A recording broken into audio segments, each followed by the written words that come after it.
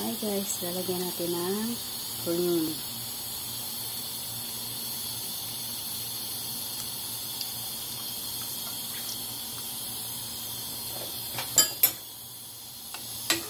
Isa lalim na. Ayan.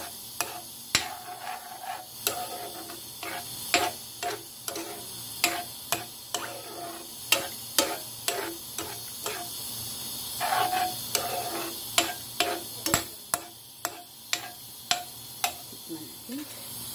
Tama na ba yung lasa?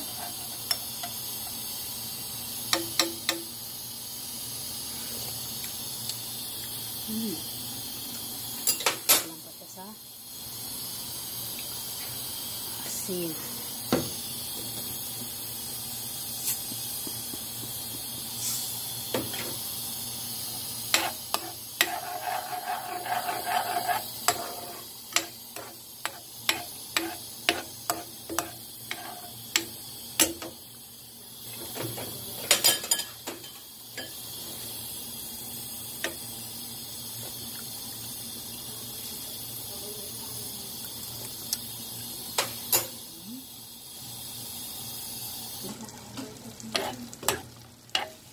Ayan, guys.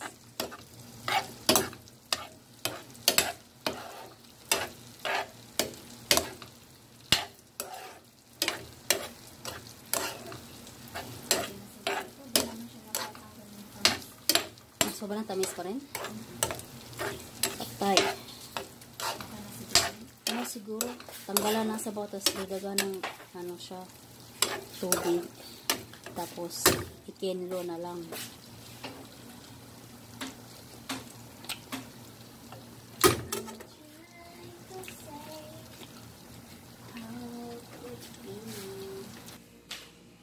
Ayan, ang hipaw.